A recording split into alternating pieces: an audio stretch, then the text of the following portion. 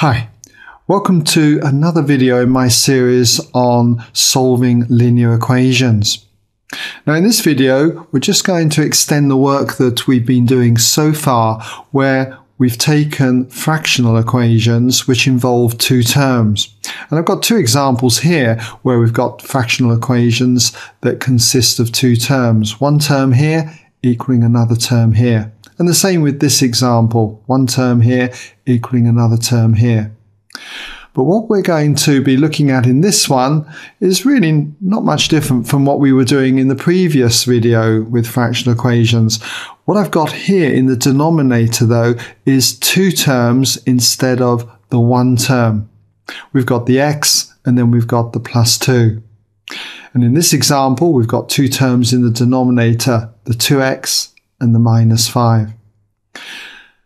So how do we do these? Well, it's not really much different, as I say, from the previous tutorial where I showed you that if you've got one term in the denominator, what we need to do is remove it by multiplying both sides of the equation by whatever value you've got here in the denominator.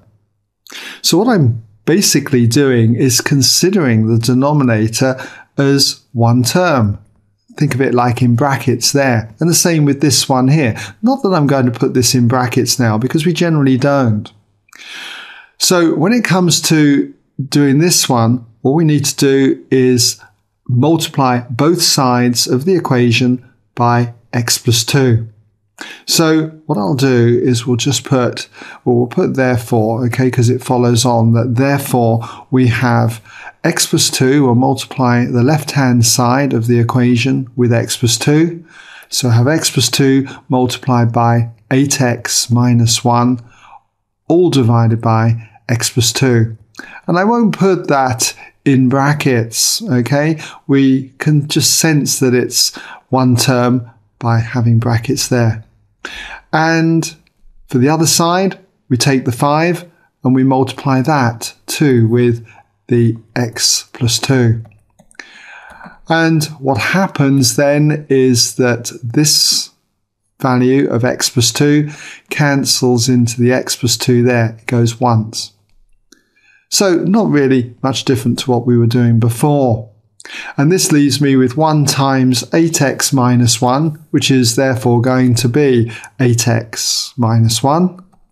And on the right hand side, we've got 5 times all of x plus 2. So we just need to expand the bracket and we're going to have 5x plus 10.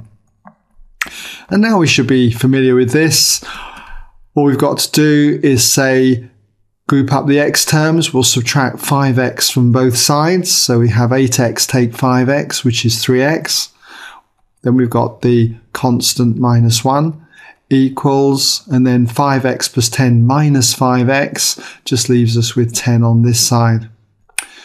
Now I'm going to add 1 to both sides. So therefore we have 3x minus 1 add 1 just gives me 3x. And then on the right hand side, 10 add 1 is going to be 11. Divide both sides now by 3 to leave me with 3x over 3, which is just 1x or x. And then 11 divided by 3 is going to be 11 thirds. And you can leave it like that or express it as a mixed fraction, and that is x equals, well, 11 divided by 3, 3 goes into 11 three times with 2 left over. So you've got 2 thirds left over, three and two thirds. Okay, well, you might like to have a go at this question here. 7 equals 3 minus 4x, all divided by 2x minus 5. So if that's the case, just give you a moment to pause the video, do come back when ready, and you can check your work solution with mine. Okay, welcome back if you had a go. So with this one, what we've got to do then is remove the denominator here, 2x minus 5. And to do that, we just multiply both sides by 2x minus 5.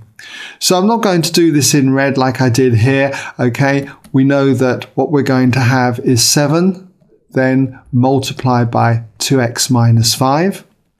And then on the right hand side here, I've got this fraction multiplied by 2x minus 5.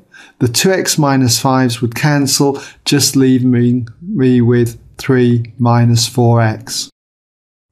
So all I need to do now is just expand the bracket. So therefore, we're going to have 7 times 2x, which is going to be 14x, and 7 times minus 5, well, that's minus 35 and that's going to equal the 3 minus 4x. I can see that I've got a bigger x term here than I have on the right hand side, so I'm going to add 4x to both sides so that I can remove the minus 4x from here. So if we add 4x to both sides, 14x plus 4x is going to give me 18x, and then we've got minus 35. And if I add 4x to the right hand side here, 3 minus 4x plus 4x just leaves me with 3. Now I'm going to add 35 to both sides, so we therefore have 18x minus 35 add 35, well that's 0, and then I've got 3 plus 35, which is going to be 38. Now, if we divide both sides by 18, then we've got 18x over 18, which is 1x, or just simply x, and then you've got 38 divided by 18. Now we can divide top and bottom by 2, so 2's into 38 go 19 times, and 2 into 18 goes 9 times. So what we've got here is that therefore x equals 19 over 9. You could leave it like that, or you could express it as a mixed fraction, and in that case, 9 would go into 19 twice and there'll be one left over, and that'll be one ninth. So you've got two and one ninth. So I hope this has given you then a better understanding of how we go about solving equations like these.